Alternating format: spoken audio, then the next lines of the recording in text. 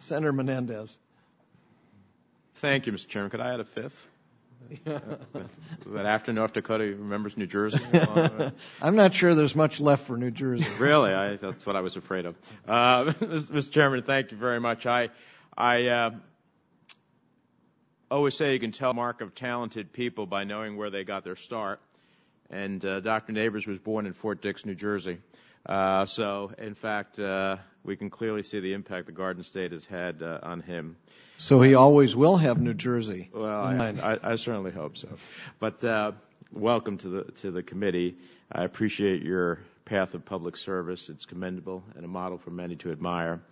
I'm fortunate to have served uh, in the House when you were serving on the House Appropriations Committee, and I saw uh, the incredible talent you had uh, working with all of the different uh, parties at work there. Uh, and so, as well as all the challenges in a very difficult period of time. And so, I thought you did extremely well there, and I think you'll serve very well at OMB. I have two sets of questions I just want to get your sense of. Um, we obviously have enormously challenging times ahead of us. President elect has talked about a line by line review of the budget.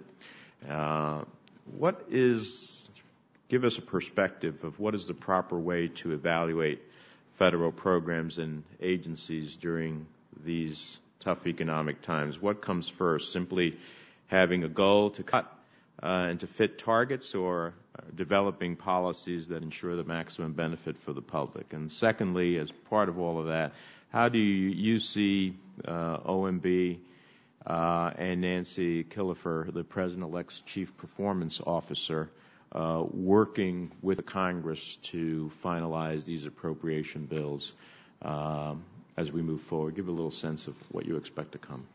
Well, I think in terms of evaluating uh, programs and making decisions, I don't think we can start from a position of just cutting. I think that first we need to evaluate the programs with regard to whether the programs are, are sufficiently uh, are, are playing an important governmental role. I think two, we need to look at the effectiveness of the program, uh, and three, I think that we need to uh, evaluate the what the shortfall would be in the overall economy and within the overall society if the federal government wasn't performing that function. Uh, I, I, think as we evaluate those the, programs across the, federal government, one of the things that we hope to do is to be sensitive to the fact that yes, tough decisions have to be made in order to to get the uh, to return our budget to an overall sense of balance, but at the same time they have to be done with a sense that each program affects real people. And we can't just cut things assuming that everything is going to be fine if these programs disappear. So we are going to have to make tough decisions, but the tough decisions have to be made with a sense of who these programs will actually be affecting. I think secondly, with regard to um, the uh, deputy, deputy director for management designating the president's uh, uh, nominee for CPO, Nancy Killefer, I see her being a, a, an incredible partner with myself, with, uh, uh, with Dr. Orszag, and with the Congress in terms of coming up with real metrics as to how effective these programs have been. I think one of the issues that has come up as previous administrations have evaluated programs is that there really hasn't been enough interaction with other stakeholders, including the Congress, as to exactly how programs should be evaluated. There are many, many levels uh, upon which programs could and should be evaluated, and I think too often those decisions have been made uh, behind closed doors. I think one of the things that you'll see uh, with myself and, and with Ms. Killefer is more openness in terms of sitting down with the affected parties and with other stakeholders to determine exactly how programs should be measured. I appreciate that. Let, let me take one provincial uh, issue and give you a sense of why it'll be important. Uh, and I appreciate the answer as to how we look at the totality uh, of how we go about making these difficult decisions.